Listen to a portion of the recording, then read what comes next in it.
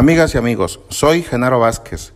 Tengo más de 30 años haciendo gestiones para ayudar a las colonias, a las comunidades y en las escuelas.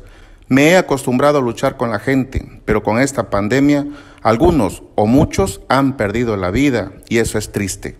Amigas, amigos, cuidémonos. Esta enfermedad la podemos detener juntos. Evitemos salir como antes y si salimos, que sea por algo muy obligado, tomando distancia, usando gel y usando cubrebocas. Yo, Genaro Vázquez, confío que nos vamos a volver a ver. Reciban mi cordial saludo.